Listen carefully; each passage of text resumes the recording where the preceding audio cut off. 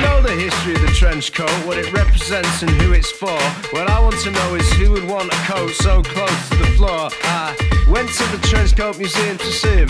A thousand different cuts, like parts from another dream. Stuffed and bursting at the seams, cause I'm fishing for a theme. If it's somewhere in between a day's honest graft and constantly fleeing the crime scene.